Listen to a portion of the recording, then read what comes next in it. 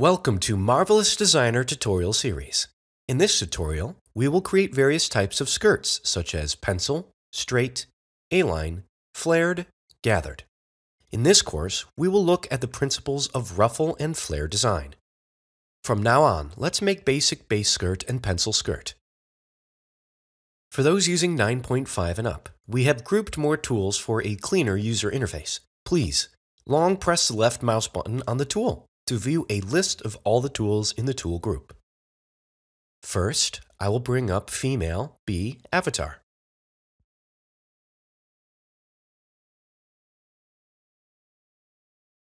This time, we will create a pattern from scratch based on the avatar's shadow in the 2D window. Select the Rectangle tool from the 2D window toolbar.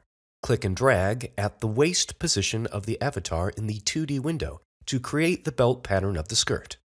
Since the shadow of the avatar is seen from the front, it is made wider than the shadow considering the side of the avatar. At this time, the pattern will be used by symmetry left and right. Right-click on the belt pattern and select the Symmetric Pattern with Sewing menu.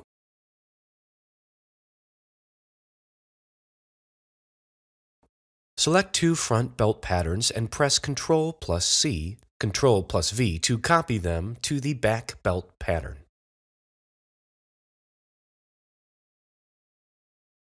Place belt patterns. If you place the pattern in the arrangement point, you can use the placement menu in the Pattern Properties window. In the Belt Pattern Properties, adjust the arrangement offset menu to adjust the pattern closer to the avatar's body.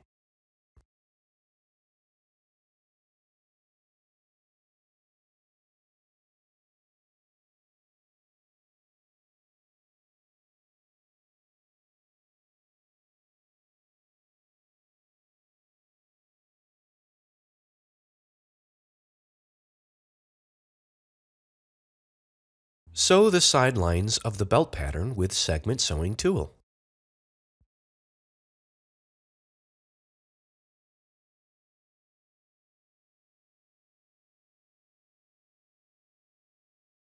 After selecting the entire pattern with the Transform Pattern tool, right-click and apply the Strengthen menu. It is not to make the garment stiff while simulation so that it is well positioned on the waist of the avatar. After selecting the entire pattern, Change the particle distance to 10.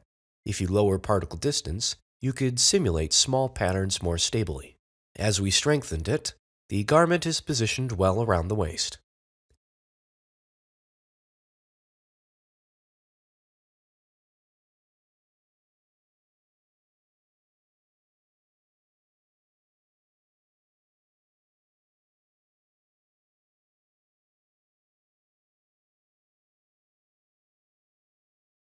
After the belt is created, freeze the patterns.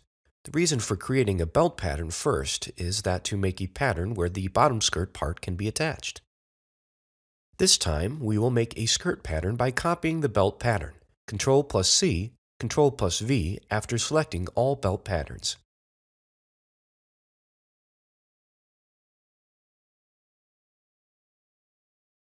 Using the gizmo, separate the skirt patterns from the avatar.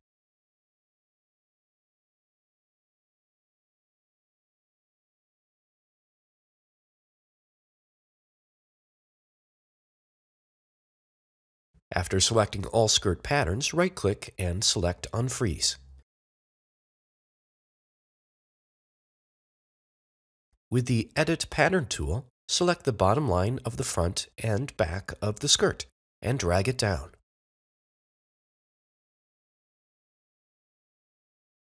With Segment Sewing tool, sew belt and skirt patterns.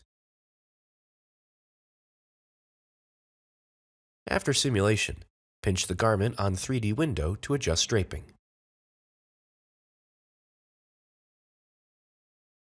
As we are going to make a tight skirt, let's check the silhouette by changing the pose of the avatar to straight pose.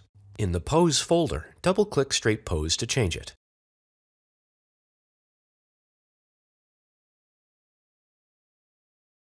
You can see the silhouette of the tight pencil line skirt. Select Main Map from Garment Fit Maps on the left side of the 3D window.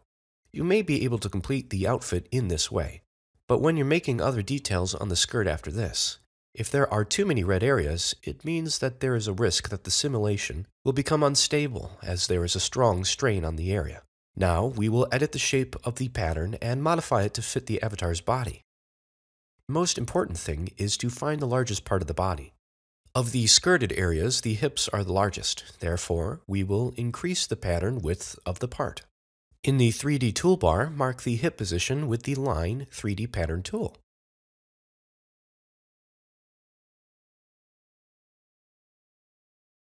Select the Add Point Split Line tool from the 2D toolbar.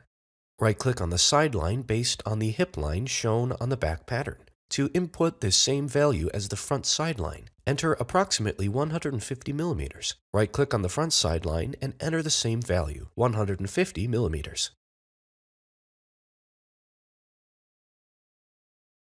We will save the garment so that we could use it for base garment later. For basic clothes, if you save the garment in the middle of the process, you could use it to create another design.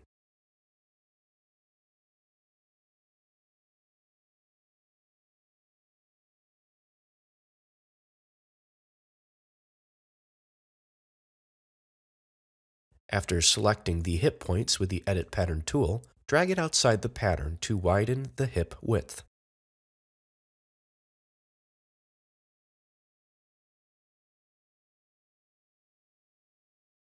After simulation, check the strain map. Check the strain map by simulating it incrementally.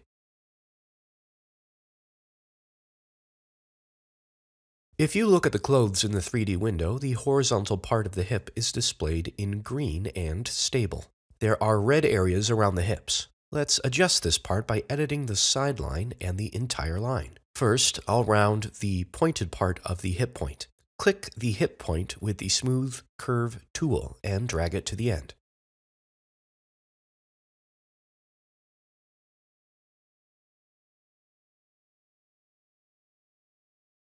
With the Edit Pattern tool, select points on the sideline, right-click and convert to curve points. After selecting the bottom points of the skirt line with the Edit Pattern tool, move it outside the pattern to increase the width. The color of the strain map on the bottom skirt has been stabilized and displayed in blue. Click on the hip point with the Edit Curvature tool and drag it outside the pattern to increase the hip width.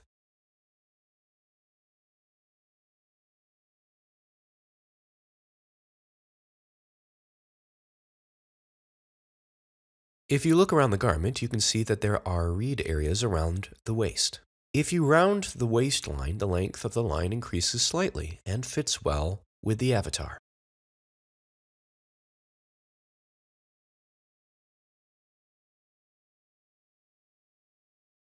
Using the Edit Pattern tool, lower the center point of the waist of the front and back patterns between approximately 20 to 30 millimeters.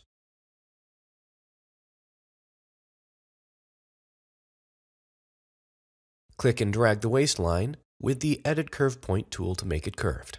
The important thing here is that both corners of the end of the waistline should be at right angles.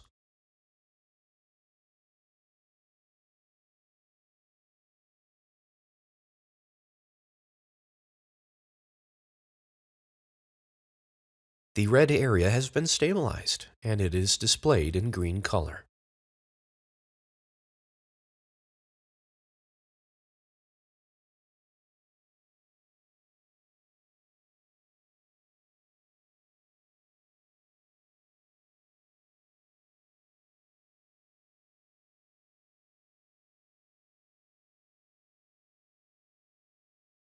Delete the lines with the Edit Line 3D Pattern tool.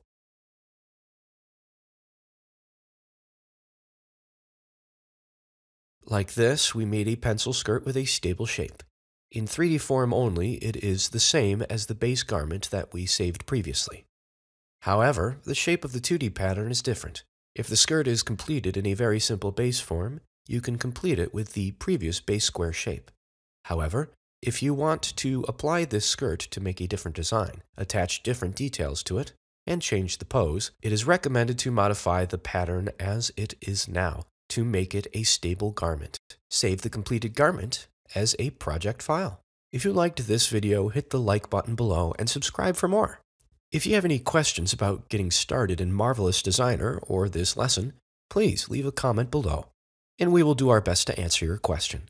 If you want more information on and where to get Marvelous Designer, check out our website, forum, and official Discord channel in the link below.